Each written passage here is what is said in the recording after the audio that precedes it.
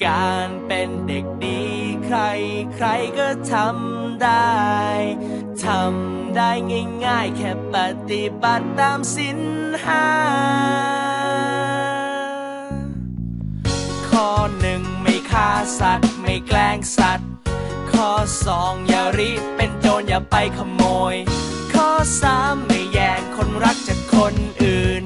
ข้อสี่เด็กดีไม่พูดโก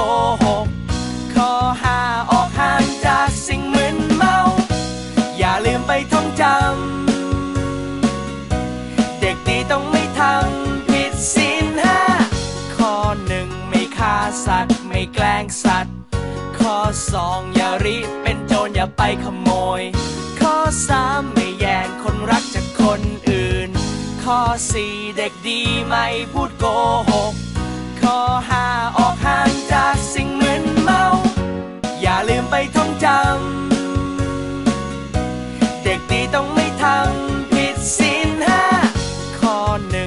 ฆ่าสัตว์ไม่แกล้งสัตว์ ข้อสองอย่าริเป็นโจรอย่าไปขโมย ข้อสามไม่แย่งคนรักจากคนอื่น ข้อสี่เด็กดีไม่พูดโกหกข้อห้าออก